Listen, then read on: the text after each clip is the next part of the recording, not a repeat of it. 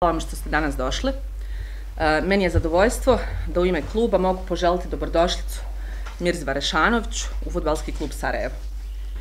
Mirza je imenovan na poziciju šefa stručnog štaba i zajedno sa svojim trenerskim timom će voditi našu ekipu u narednom periodu. E, obavili smo, kao što i sami znate, jel, razgovore sa više kandidata i baš između svih kandidata smo odabrali Mirzu, jer smatramo da on najviše može doprinijeti viziji i razvoju strategije našeg kluba. Kad pričamo o viziji i strategiji, naši ciljevi su jasni, što je već komunicirano u prethodnom periodu, a to su da budemo najbolji i najorganizovaniji klub u Bosni i Hercegovini u svakom segmentu, boriti se za sami vrh tabele i razvijati najbolje mlade talente kojima ćemo dati priliku da igraju u prvom timu, a kasnije da imaju šansu da igraju u svjetskim ligama. Šta reći o Mirzi ovako uh, u malo opuštenijoj varijanti? Dakle, Mirza je cijeli svoj život vezan za futbalski klub Sarajevo, uh, ima iza sebe dokazane uspjehe i osjeća klub svojim. Uh, ima tu ljubav, privrženost i emociju za koju smo sigurni da će uspjeti prenijeti na igrače koji onda to trebaju pokazati na terenu. I to je ono što nama u ovom trenutku kao klubu najviše treba. Ono što je isto bitno za uh, je da imamo sad pored Mirze i cijelu bordo ekipu, dakle cijeli stručni štab su ili igrali ili radili u prošlosti za futbalski klub Sarajevo, tako da se radi o ljudima koji znaju kako klub diše i ljudima kao su, koji su kao igrači ostavili veliki trag u klubu. Tako da ispred cijelog kolektivna, kolektiva upravnog odbora i investitora Mirza dobrodošao kući. Hvala puno. Hvala puno. Mi smo doista bili negativno iznenađeni sinoć kad smo dobili ovaj informaciju o ovom pismu koje je pušteno od javno, u javnost od uh, predstavnika naše navijačke grupe Horde zla. Horde zla. Uh, ono što nas kao menadžment posebno zabrinjava je trenutak u kojem je to pismo došlo, obzirom da, da mi smo trenutno u poziciji da pregovaramo sa investitorima o nastavku investiranju u ovaj klub, Ehm, objavljena informacija u kojoj stoji eh, izvančno da su investitori uložili skoro 10 miliona maraka od trenutka preuzimanja kluba i sada razgovaramo o drugoj fazi investiranja što će podrazumijevati ozbiljne infrastrukturne projekte, ulaganje u trening kamp i razvoj same akademije što nam je strateški bitan projekt. Šta je nama kao menadžmentu bitno je da imamo maksimalnu podršku od svih zainteresovanih strana i da prema tom cilju idemo zajedno, jer će nam biti puno lakše teško je nešto postići sam, puno je lakše kad imaš podršku i navijača i javnost.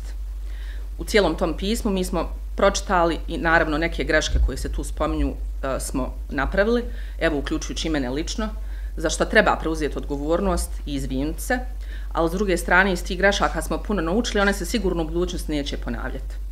Biće možda neke nove greške jer ko, ko radi taj griješi, ali ono što je važno za napomenuti je da svi guramo klub prema istom cilju, a ono što sam već prezentovala na početku samog razgovora. Isto tako, ono što je važno, koliko god puta to spominjali, još jednom napomenuti je da svi znamo u kakvom je klub bio stanju kad je gospodin Mirvić ušao u njega, kako su se svi dugovi nalazili, šta je sve napravljeno i koliko je klub, klub stabiliziran.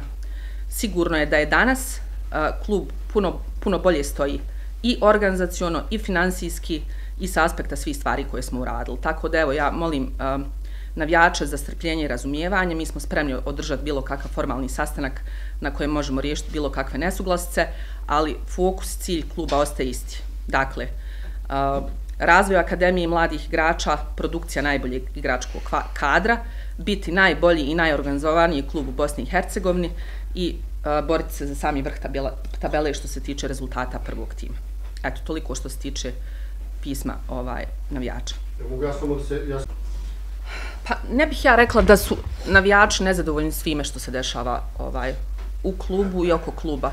Mi smo sa formalnim predstavnicima navijača, ja konkretno sam imala više sastanaka u toku mog mandata od kako sam se pridružila klubu u aprilu mjesecu i otvoreno smo razgovarali o svemu ovaj šta se dešava, kakva je uloga a, kojeg sektora unutar kluba, šta, na čemu klub radi i kakva je strategija navijači su isključivo nezadovoljni sportskim rezultatima i to je ono što je prvo i najvažnije njima, a isto tako i nama. a pogotovo investitor koji daje svoje novce da bi na kraju ne ostvario taj rezultat. Tako kad, kad pričamo kom je koliko teško, ja sam sigurna da je gospodinu Mirviću najteže. Pa tek onda, ja bih rekla, ostalim navijačima.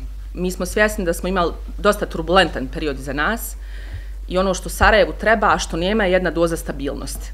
Stabil, stabilnost smo doveli u ovom drugom dijelu kluba koji čini administracija, uh, upravljanje raznoraznim projektima koji će nam donijeti vrijednost i u akademiji, što nam je najvažniji prioritet. Međutim, stabilnosti u kontekstu prvog tima do sada nismo imali, jer evo, otkako sam ja u klubu, već smo promijenili dva trenera, a nisam tu ovaj, ni godinu dana. Uh, kad dobijemo tu stabilnost i kad dobijemo stabilnost u kontekstu ne samo trenerskog kadra, već i igračkog kadra, Sarajevo će sigurno ostvarivati uh, dobre rezultate kad dođu dobre rezultate, onda će svi biti zadovoljni. Šta se dešavalo u prošlosti je bili super sportski rezultati, klub je propadao, ali niko to nije primijetio. Sad smo u jednoj drugačijoj, ja bih rekla, totalno drugačijoj situaciji.